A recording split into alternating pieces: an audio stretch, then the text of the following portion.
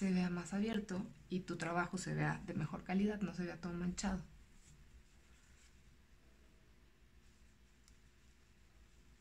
Esto lo hacen mucho eh, las maquillistas profesionales para que se haga el delineado como perfecto hacia arriba. Ahora me voy a hacer la ceja con un pincel de Anastasia Beverly Hills, es el pincel 12, y la pomada de cejas. El tono es dark brown. A mí lo que me gusta es tomar un poco de la pomada, como esto, y ponérmelo en la mano.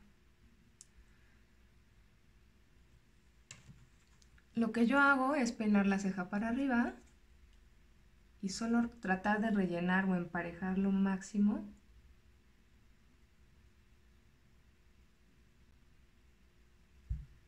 la ceja para que se vea pareja y se vea este, este rollo que está de moda ahora de la ceja súper tupida, pues así. De por sí ya la tengo tupida.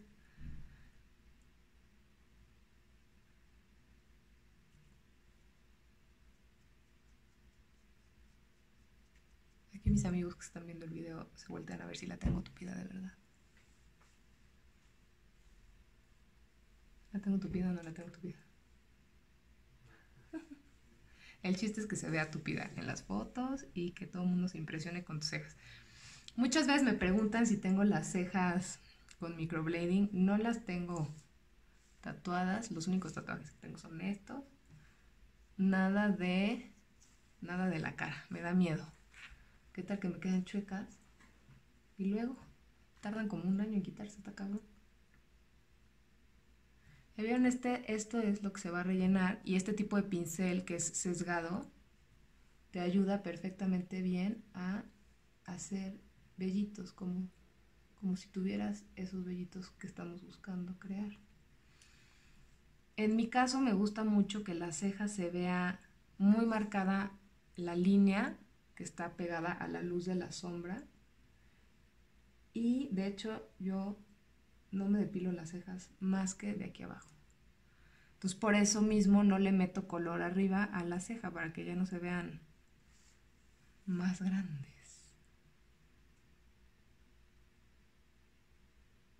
Oigan, déjenme abajo en sus comentarios qué rímel utilizan porque estoy buscando otras opciones de tipos de rímel para que se vea más volumen en las pestañas y para que se vean más negras.